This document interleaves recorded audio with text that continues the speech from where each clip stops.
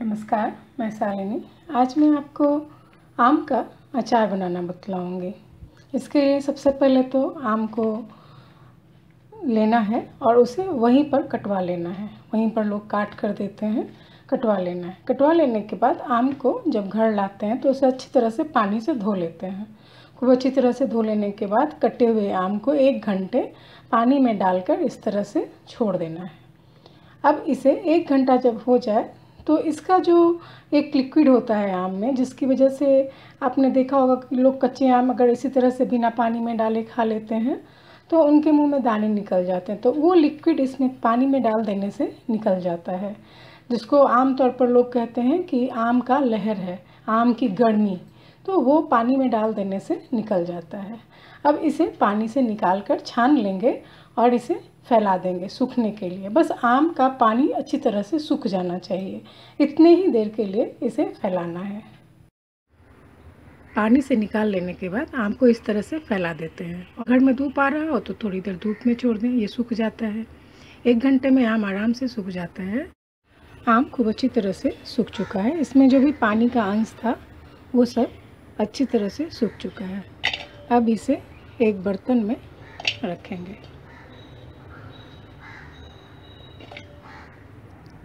और इसमें नमक और हल्दी डालेंगे। मैं इसमें एक चम्मच हल्दी और एक चम्मच नमक डाल रही हूँ।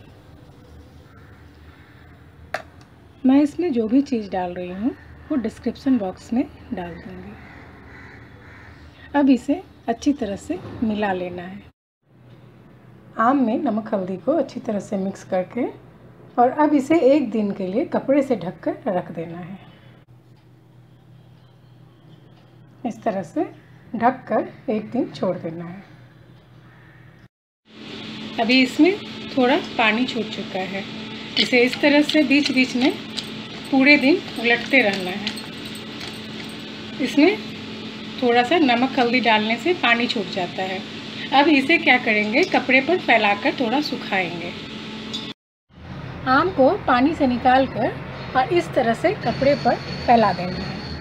ताकि इसका जो पानी इसमें लगा हुआ है, वो सूख जाए। इस तरह से जितने भी आम का अचार तैयार करना है, उसे थोड़ा फैलाकर और सुखा लेना है। अब जो पानी इसमें बच जाता है, आम को निकालने के बाद, इसे फेंकेंगे नहीं, इसमें हम मसाले सानेंगे। आम को सूखने छोड़ा है, जब तक आम थोड़ा सा उसका पानी सूख जाता है, तब तक हम मसाला तैयार करते हैं। इसमें डालने के लिए हमें चाहिए होता है राई आजवाइन सौंफ, कलौंजी, मेथी, नमक और हल्दी। इसमें और हम ऐड करेंगे धनिया का पाउडर, लाल मिर्ची का पाउडर। धनिया का पाउडर घर में अवेलेबल होता है। अगर नहीं हो तो साबुत धनिया को भूनते हैं और उससे पाउडर बनाते हैं। ये मैंने भून कर तैयार किया है। और लाल मिर्ची का पाउडर, ये दोनों हमेशा हर घर में मौजूद रहता है। तो इसलिए उसको साबुत लेने की ज़रूरत नहीं है। अगर नहीं हो तो साबुत ले करके तब उसका पाउडर बना लेंगे। थोड़ा सा भून कर तब पाउडर बनाएँगे। चाहे वो लाल मिर्ची हो, चाहे धनिया हो, दोनों को थोड़ा सा भूनेंगे, उसके बाद उसका पाउडर बनाकर रख लेंगे। साथ हींग। और इसमें मैं सरसों के तेल से इस अचार को बना रही हूँ। अपने अपने क्षेत्र के अनुसार तेल यूज़ किया जाता है। हम लोग शुरू से इसमें सरसों का तेल ही डालते हैं। तमिलनाडु वगैरह में साउथ में लोग तिल का तेल इस्तेमाल करते हैं। कहीं कहीं लोग ग्राउंड नट ऑयल इस्तेमाल करते हैं तो उसके अनुसार तेल डालते हैं। सबसे पहले राई को छोड़कर इन सभी चीज़ों को थोड़ा गर्म करना है। कढ़ाई को गर्म करेंगे, उसमें मेथी डालेंगे। इसे थोड़ा सा भून लेंगे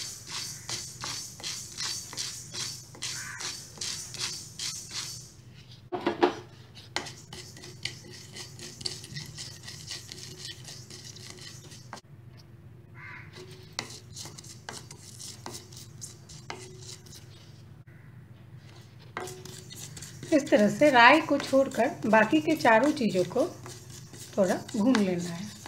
भून लेने से इसके मॉइस्चर ख़त्म हो जाते हैं, साथ ही थोड़ी सी ये सोंधी भी हो जाता है। सभी चीज़ों को भून कर रख लिया है, इसमें राई मिला देंगे। और अब इन सबको ठंडा होने रख देना है। ये जब ठंडा हो जाएगा, तब तो इसके पाउडर तैयार करेंगे। पाउडर बनाने वाला ब्लेड लगा देंगे। और सूखे हुए पॉट में इसे डाल देंगे। ये ठंडा हो चुका है। इसे डालकर और पीस लेना है। अचार का मसाला थोड़ा मोटा ही पीसेंगे। एकदम बारीक पाउडर नहीं बनाएँगे। थोड़ा इसको मोटा ही पीसना है। और अब इसे मिक्स करेंगे। ये थोड़ा सा दूसरे तरीके से मैं अचार बतलाने जा रही हूँ। कढ़ाई में तेल को थोड़ा सा गर्म करेंगे। जो भी तेल खाते हैं जो भी तेल अचार में डालते हैं, वो डालना है और उसे थोड़ा सा गर्म करना है। बस इतना ही कि इससे धुआँ आने लगे। तेल गर्म हो जाए तो उसमें डालेंगे हींग और स्टोव को बिल्कुल बंद कर देंगे। स्टोव अब जला हुआ नहीं चाहिए और इसमें डालेंगे रेड चिली पाउडर, धनिया पाउडर मैं सभी चीज़ों की क्वांटिटी सभी मसाले की क्वांटिटी डिस्क्रिप्शन बॉक्स में डाल दूँगी।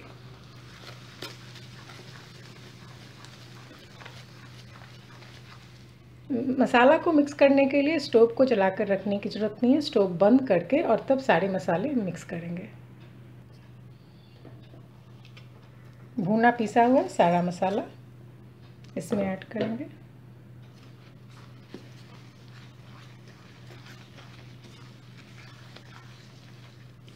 ये मसाला थोड़ा तेल के ठंडा होने के बाद भी ऐड कर सकते हैं।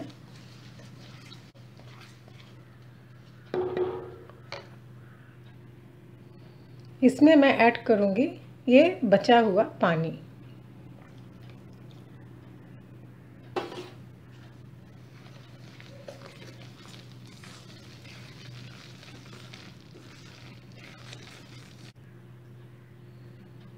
साथ ही हल्दी नमक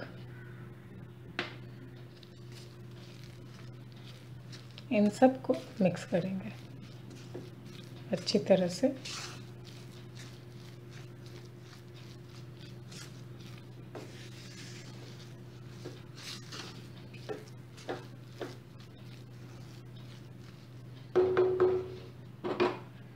अब यहाँ पर अगर आपने कभी भी भूल से नमक हल्दी में थोड़ी इधर उधर कर दी है तो नमक चख लें और इसमें नमक डाल देना है।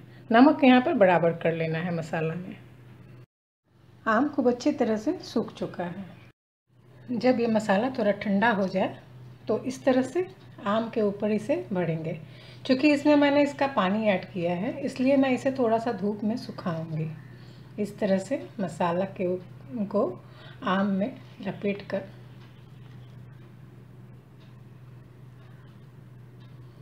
और सुखाऊँगी।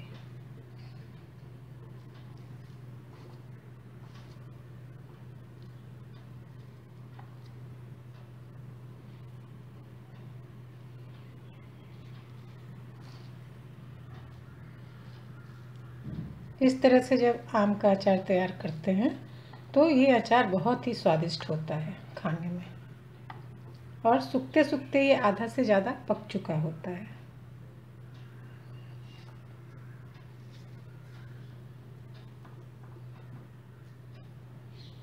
जहाँ से भी धूप आ रहा हो, इसे रख देंगे सूखने के लिए।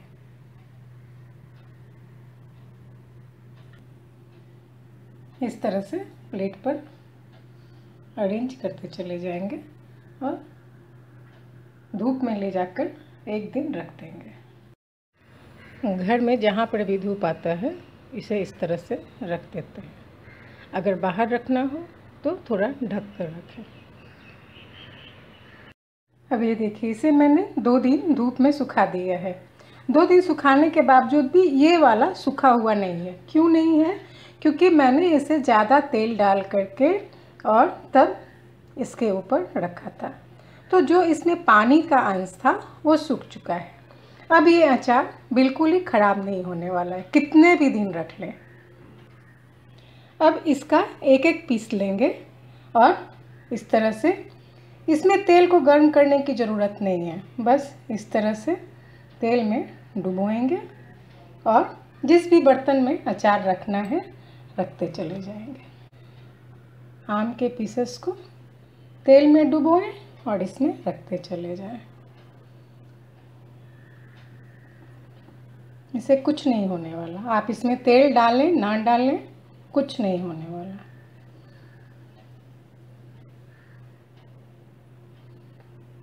दो चार दिन में आराम से इसे खाएँ।